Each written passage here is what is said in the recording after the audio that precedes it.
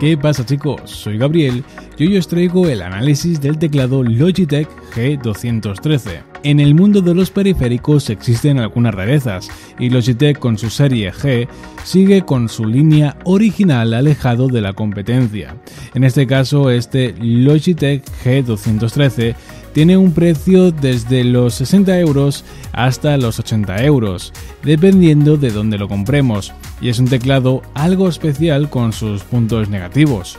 Estéticamente tenemos un teclado totalmente en plástico con un color uniforme y acabado en una especie de negro. Una de las primeras cosas que podemos ver es que tiene un reposamuñecas integrado en él, haciendo así uno de sus puntos negativos más evidentes.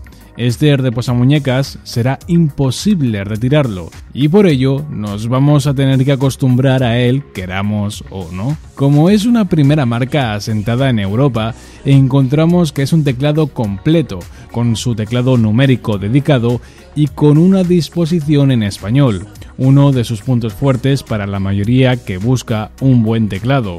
Por otra parte, este Logitech G213 incluye un buen cable mallado con una apariencia bastante ruda, pero que no es extraíble. También presenta sus propias teclas dedicadas multimedia, un añadido que se agradece, y como es evidente, este Logitech también incluye la tan asentada iluminación LED RGB. En este caso, la iluminación LED ilumina lo que tiene que iluminar, simple y llanamente ilumina la letra de cada tecla sin presentar fugas, algo que hará que se vea claramente esta iluminación de día y de noche.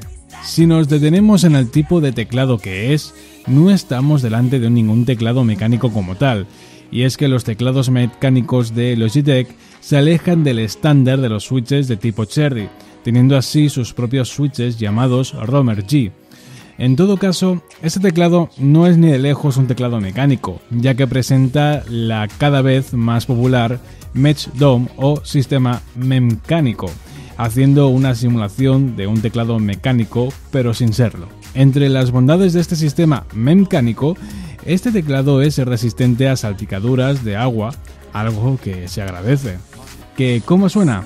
Pues nada mal, aunque es algo menos ruidoso que un teclado mecánico convencional, sigue siendo algo más ruidoso que los típicos teclados de membrana.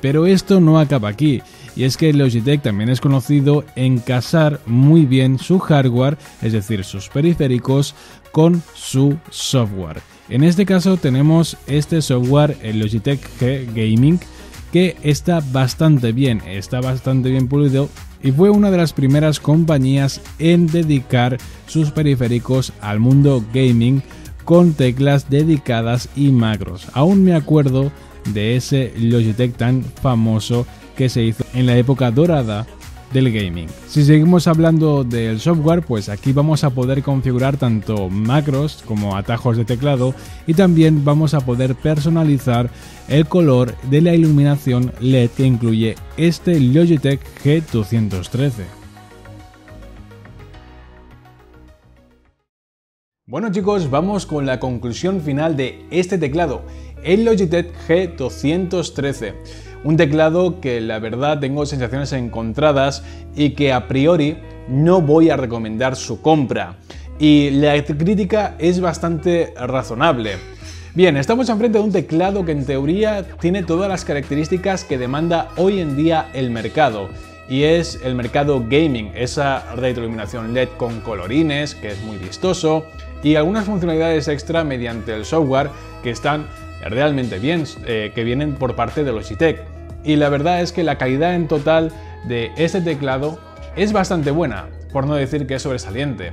El gran problema es un problema de base de este teclado. Es que cuando compramos un teclado tiene que ser lo mejor para escribir. La sensación de escritura tiene que ser muy agradable y se tiene que adaptar muchísimo a nosotros. Y con este teclado no estamos dejando de comprar sino un teclado de membrana. Y eso es la peor parte de este Logitech G213. Cuando nosotros comparamos este teclado de membrana con un teclado mecánico de verdad, pues la sensación de escritura es totalmente dispar, es decir, es muy diferente a la sensación de escritura de un teclado mecánico a un teclado de membrana. Aunque quiera simular ser mecánico, no tiene nada que ver. Y la gran crítica es el precio que tiene, de 60 a 80 euros este teclado Logitech G213. Y creo que, la verdad, si miramos un poquito sobre el mercado, veremos que hay teclados mecánicos muy buenos en una relación calidad-precio excelente, por menos incluso de esos 60 euros que cuesta este Logitech G213. La verdad, me da rabia, pero es un muy buen producto, pero que no tiene ni el precio ni nos da la sensación de escritura que buscamos. Para el gaming se comporta bien, pero tampoco es lo mejor del mundo. Así que bueno, es un intento fallido de Logitech por darnos un buen producto, pero con un precio malo y con una sensación de escritura que no llega a la altura de los teclados mecánicos de verdad. Así que en general no recomendaría su compra de este teclado de Logitech G213.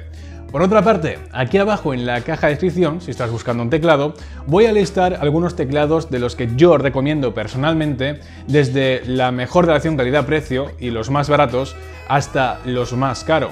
Creo que la diferencia que hay entre un teclado mecánico y un teclado de este estilo es abismal y la sensación de escritura se agradece muchísimo más en un teclado mecánico. Y nada más, recordad que yo soy Gabriel, me podéis seguir por Twitter y por Instagram y me podéis seguir leyendo por unboxme.es. Echarle una ojeada a la caja de descripción y nos vemos en más vídeos